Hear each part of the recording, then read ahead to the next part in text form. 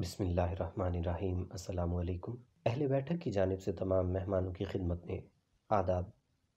آج کی بیٹھک میں ہم آپ کو اردو کے مشہور ترین اشعار میں سے ایک شعر کی اصلاح اور اس کے اصل شاعر کے نام کے بارے میں بتائیں گے۔ تو آئیے آج کی بیٹھک شروع کرتے ہیں۔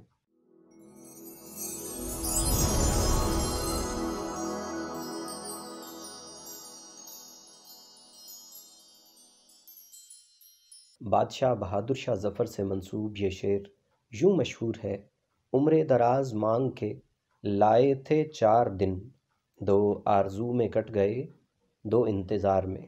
پہلی بات تو یہ کہ یہ شعر بہادر شاہ ظفر کا نہیں، بلکہ سیماب اکبر آبادی کا ہے۔ اور جس غزل میں یہ شعر شامل ہے، وہ انہوں نے پہلی بار علی گڑھ کے ایک مشاعرے میں پڑھی تھی۔ اور یہ غزل ان کے مجموعہ کلام کلیم عجم میں درج ہے۔ اور دوسری بات یہ کہ اس شعر کی درست صورت یوں ہے۔ عمر دراز مانگ کے لائی تھی چار دن۔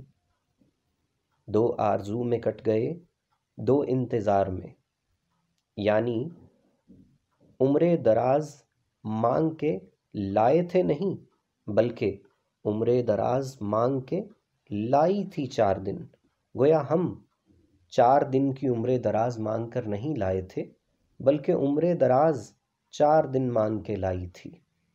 اس شعر کا بہادر شاہ ظفر کی اس غزل سے کوئی تعلق نہیں، جس کا مقطع بہت مشہور ہے یعنی کتنا ہے بد نصیب ظفر، دفن کے لیے دو گز زمین بھی نہ ملی کوئے یار میں۔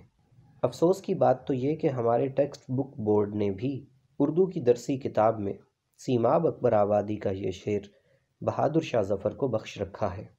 تو آئیے آج لگے ہاتھوں آپ کو سیماب اکبر آبادی کی یہ غزل بھی سنا دیتے ہیں۔ شاید جگہ نصیب ہو اس گل کے ہار میں میں پھول بن کے آؤں گا اب کی بہار میں۔ خلوت خیال یار سے ہے انتظار میں، آئیں فرشتے لے کے اجازت مزار میں۔ عمر دراز مانگ کے لائی تھی چار دن۔ دو آرزو میں کٹ گئے، دو انتظار۔ میں مجھ کو مٹا گئی روش سرمگی تیری۔ میں جذب ہو گیا نگہ شرم سار میں۔